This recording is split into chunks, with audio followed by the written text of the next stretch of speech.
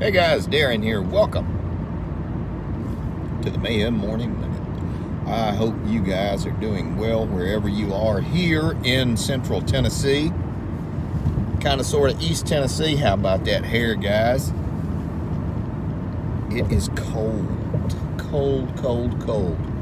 We have fog condensing on uh, the pine trees, making the needles frozen white. Very pretty. Not too bad yet. Uh, if it accumulates enough, then you have uh, a problem because the tree limbs get heavy and they drop oops, onto the power lines uh, up here uh, for the residents. I'm up here in Etowah. We're heading back down now to uh, Chattanooga. Going to do some work. Uh, it's going to be kind of a one of my out of town weeks. I have one of those every month, and this is it. But wanted to kind of touch base with you guys as to what all's going on and what's happening. Um, as a lot of you know, Parler has been shut down it was a social media site, uh, an alternative to Facebook. And the powers that be, uh, being Amazon and Apple, uh, and, and ultimately those, uh, got together and they decided that the problem that had come from uh, the Capitol DC protests was because of Parler. Now, that I find that very interesting. I was on Parler, and uh, it was very good. They called it, it, it a a hate speech website or group or social media. It was not. Um, they actually did have restrictions, so you could not say certain things, and there was nothing like that that was posted. So there's that lie. Now, there's another lie that is saying that Parler was used to orchestrate and coordinate with groups to assemble and protest. Eh, kind of, sort of, not really.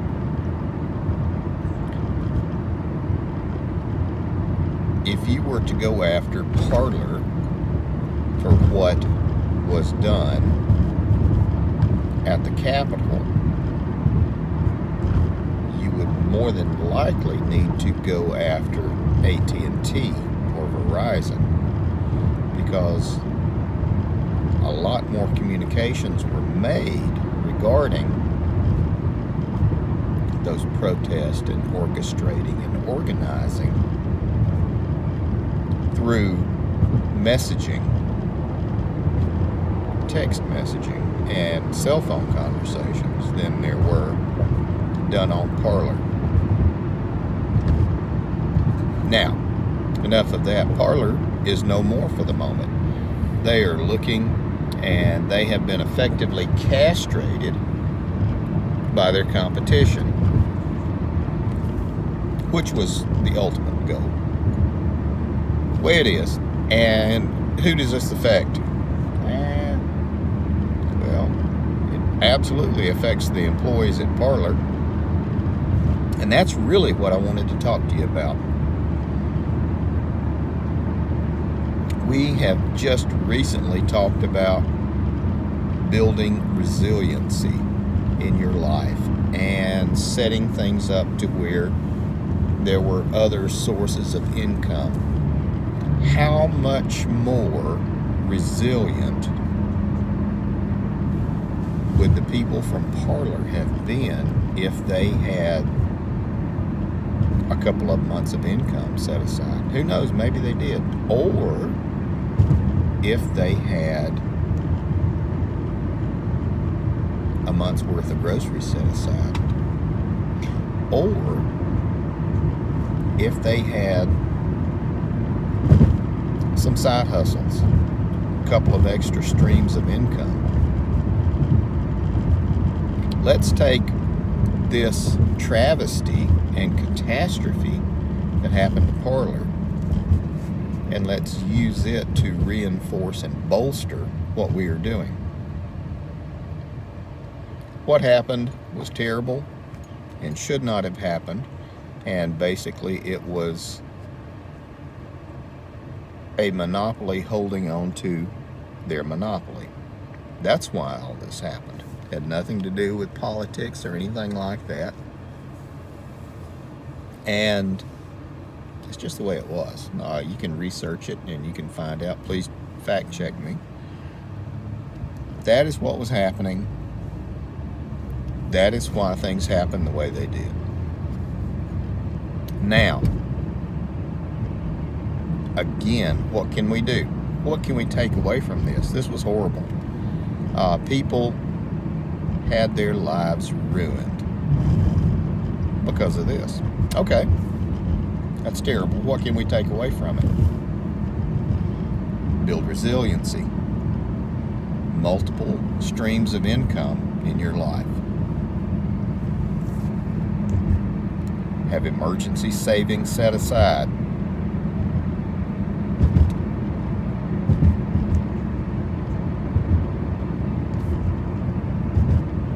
have a stockpile of food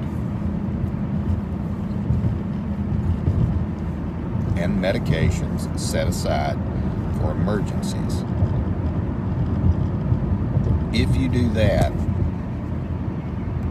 that goes a long way to lessening their control. If I want to control you, I'm going to restrict your access to information I'm also going to control your resources. I'm also going to control your income. Holy cow. Look at what I just did.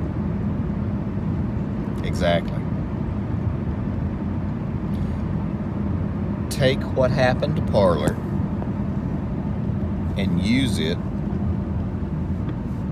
as a lesson to protect yourself.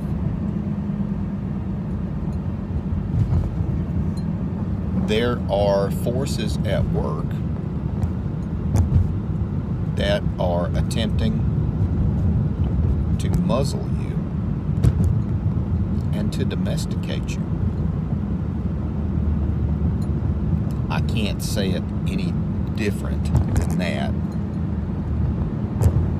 That is what is happening.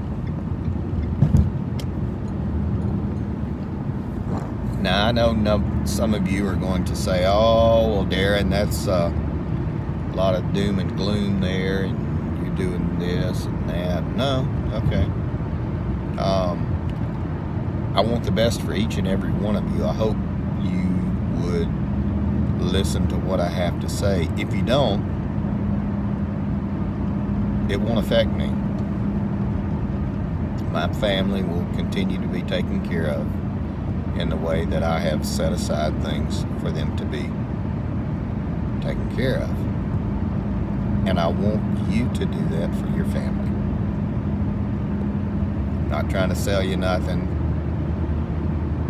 Not trying to get you to buy these vitamins or whatever kind of crap that these other people are doing. This is just me talking to you,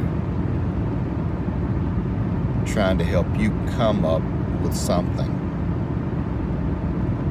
and why should I do that? Why should I try to help people come up with an alternative to uh, what's going on, something that gives them confidence and boasts, boosts, I'm sorry, boosts their, uh, their income. Well, if you're relying on yourself, that's one less person that's going to ultimately rely on me. You think about that. Think about 10 people that you know that depend on you. Okay? Those 10 people, if they're taking care of themselves, they don't depend on you as much and other people can be brought on board.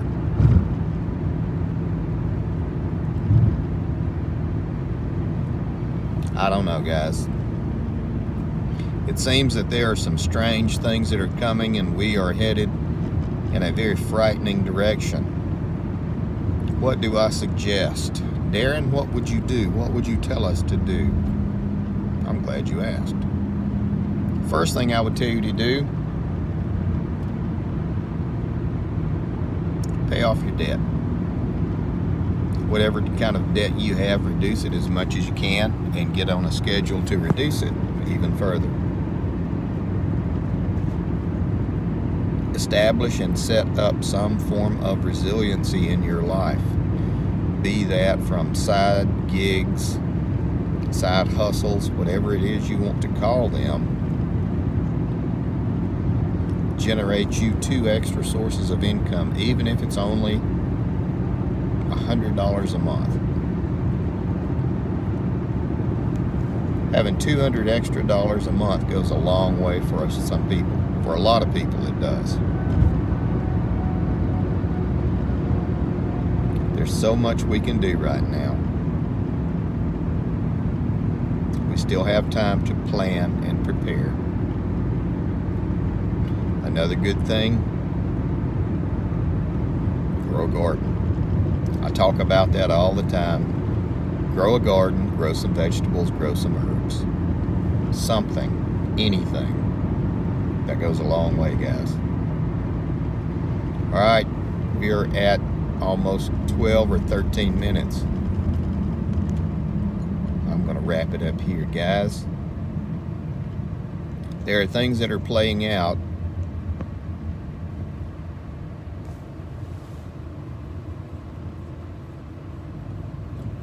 that can be problematic and difficult. Keep doing the good things. Keep taking care of your friends and your neighbors, even if they don't like you. Go next door to your neighbor's house, the guy that doesn't like you, that thinks you're an asshole.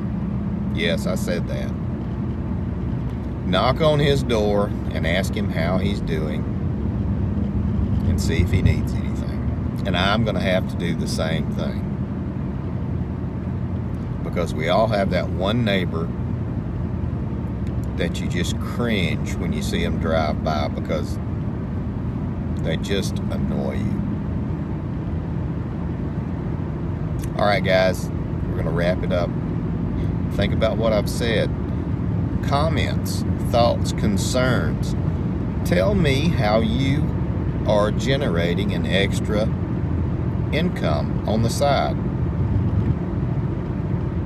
Just general, nothing too specific.